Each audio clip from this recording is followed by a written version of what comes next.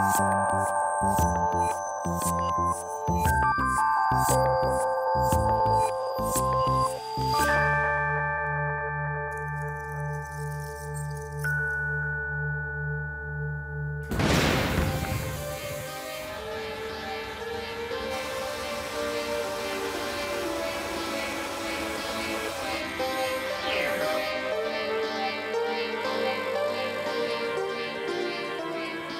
Perçage, usinage, meulage, soudure.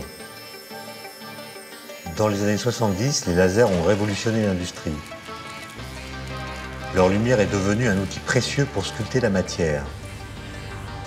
Grâce à sa puissance, mais avec une extrême finesse, elle permet de façonner des objets dont les formes sont impossibles à obtenir par d'autres moyens.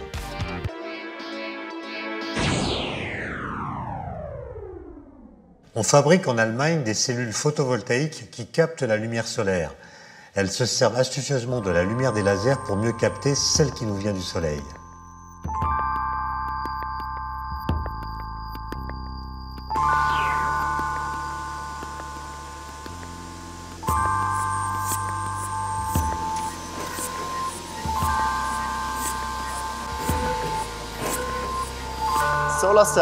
Les cellules solaires absorbent la lumière du Soleil, qui est constituée de photons.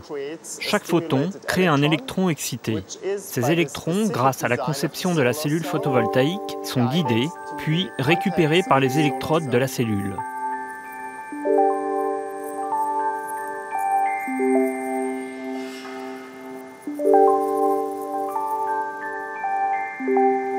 Ensuite, ce courant électrique peut être utilisé par toutes sortes d'appareils.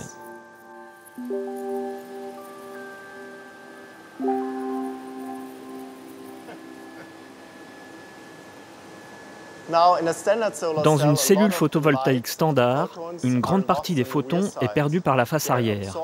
Ils sont absorbés par la couche métallique. Dans notre conception, nos cellules ont aussi une couche métallique à l'arrière.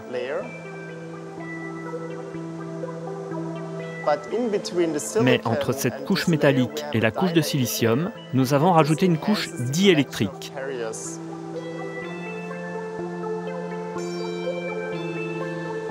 Cela rend plus efficace la récupération des électrons et améliore la performance de la cellule.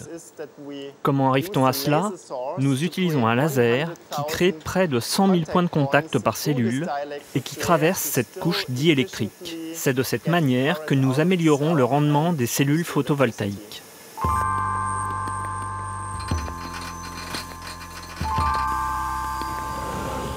Ces couches diélectriques améliorent la collecte des électrons elles sont simplement constituées de papier aluminium, le même que celui que vous utilisez dans votre cuisine. Là, derrière moi, le laser est en train de coller ensemble toutes ces couches.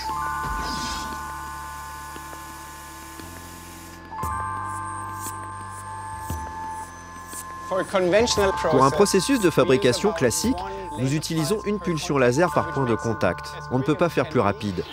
Mais avec la feuille de papier aluminium, comme elle est plus épaisse que les couches conventionnelles, nous avons besoin de plus d'impulsions.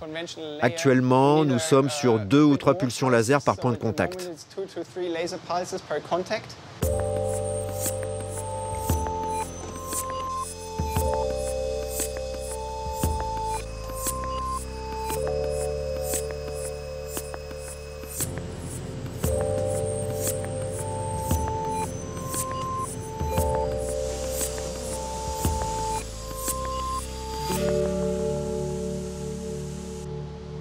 C'est ici, sur ce banc laser, que les chercheurs tentent de réaliser le faisceau idéal afin d'obtenir un résultat parfait pour ces nouvelles cellules photovoltaïques.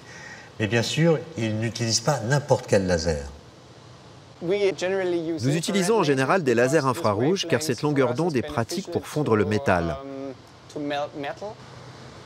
Mais le nerf de la guerre, c'est vraiment le calage du laser. Nous devons régler la distribution temporelle et spatiale de l'énergie des pulsions. De cette manière, l'aluminium fond dans le silicium, sinon nous n'avons pas de contact. Mais il ne faut pas non plus qu'il soit fondu trop profondément. Il faut une quantité adéquate d'aluminium qui pénètre le silicium pour former une surface chargée positivement.